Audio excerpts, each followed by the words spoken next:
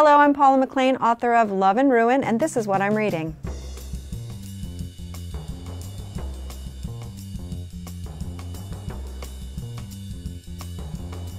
Currently, I'm reading The Fire Sermon by Jamie Quatro. And if you've not heard of it, uh, there's a lot of buzz about this novel these days. It's about a woman who struggles with herself and her God in the wake of a passionate extramarital affair. So there's sex, and there's God, and there's poetry, and it's super steamy. Currently, I'm rereading The Secret History by Donna Tartt. I think that she's phenomenal, and uh, I think of her as like the high priestess of a certain kind of atmospheric and propulsive narrative literary fiction.